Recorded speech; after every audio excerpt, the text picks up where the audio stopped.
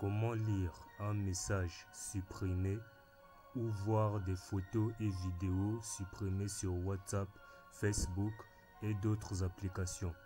Salut les amis, bienvenue sur Technique Facile. Sur cette chaîne, je publie chaque semaine de nouveaux tutoriels pour vous aider à améliorer votre quotidien.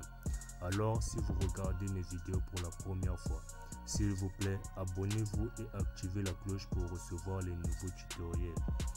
Alors les amis, dans cette vidéo, j'aimerais vous montrer comment lire les messages supprimés ou voir des photos et vidéos supprimées sur WhatsApp, Facebook ou d'autres applications.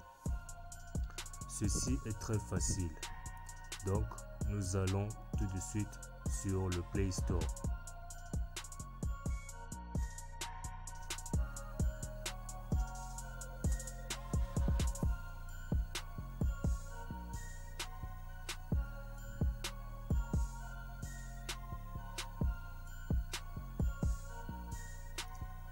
La barre de recherche, tapez Timeline WhatsApp Delete. Timeline WhatsApp Delete. Mais c'est pas l'application là qu'on va télécharger pour voir euh, les messages, photos et vidéos. Ensuite, cliquez sur Recherche.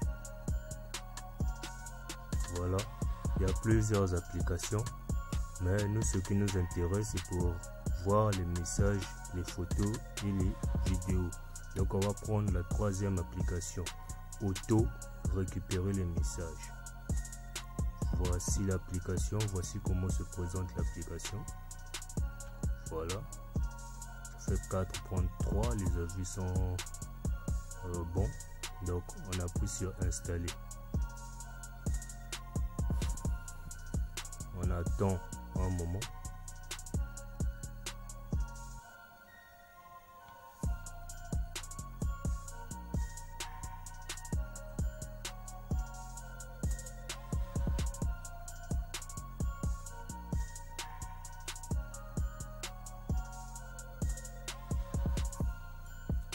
On attend que ça installe dans le téléphone.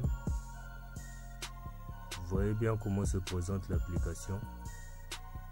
Auto, ça s'écrit auto, récupérer les messages.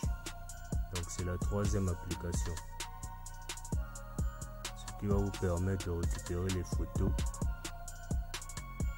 et vidéos et lire aussi les messages supprimés sur d'autres euh, applications comme WhatsApp, Facebook et d'autres. Voilà, on va ouvrir l'application.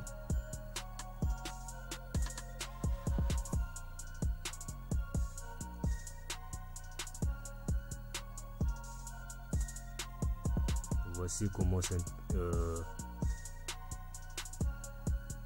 voici comment se présente l'application.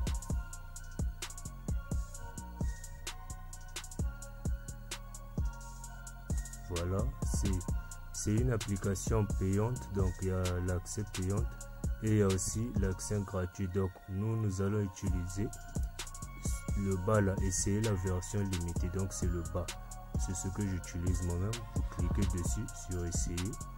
Ensuite, vous cliquez sur le bouton en bas là à droite, sur la flèche là, vous cliquez dessus.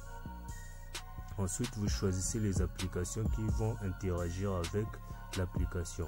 Pour notre cas, ce sera WhatsApp. Vous pouvez aussi choisir Facebook euh, et d'autres applications comme musique, hein, euh, comme euh, la messagerie par exemple, parce que vous pouvez supprimer votre contact peut supprimer le message par maladresse. Donc, Ensuite, vous cliquez sur la flèche. Ensuite, on va autoriser. Autoriser l'accès au stockage. Voilà. OK. On autorise l'accès aux notifications. On va dans les paramètres. Ensuite, on clique sur l'application. OK. On repart. Ensuite, on autorise l'optimisation de la batterie. Ça veut dire quoi? C'est pour permettre à l'application de fonctionner en arrière-plan. Comme ça, il pourra interagir avec tout ce qui se passe dans le téléphone. Ok. Quand vous avez fini, ça veut dire que maintenant votre téléphone peut voir lire, euh, enfin lire les messages et les photos et les vidéos supprimées sur d'autres applications.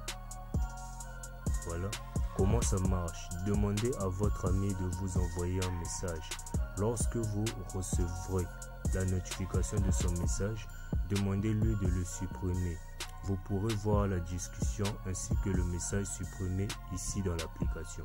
Si vous utilisez les appareils Redmi, Realme, Oppo ou Vivo, veuillez autoriser le démarrage automatique pour que cette application fonctionne correctement.